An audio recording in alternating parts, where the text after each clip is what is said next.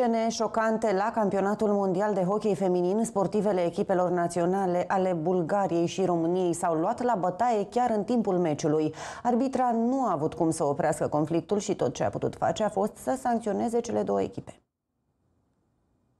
O bătaie în toată regula a izbucnit la campionatul mondial de hockey pe gheață pentru senioare organizat pe patinoarul olimpic din municipiul Brașov. În imagini se vede cum două sportive ale echipelor naționale de hockey ale României și Bulgariei se îmbrâncesc pentru posesia pucului, iar de acolo mai multe sportive intervin și împart pumni, picioare, dar și lovituri de crose adversarelor. Inițial, arbitrii meciului au încercat să le despartă, însă și-au dat seama că nu pot face nimic și au asistat neputincioși. Arbitra Emma Sanders din Marea Britanie a decis să aplice sancțiuni record, 554 de minute în total, 265 pentru echipa României și 289 pentru cea a Bulgariei. În plus, 9 jucătoare au fost sancționate cu încă 470 de minute de penalizare după ce au declanșat un conflict și după terminarea partidei. Meciul s-a terminat cu victoria cu 10 la 2 pentru românce, însă țara noastră a terminat pe locul 4 competiția, iar Bulgaria pe 5. Grupa A, din cadrul campionatului mondial pe gheață senioare din care a făcut parte România a fost câștigată de sportivele din Hong Kong.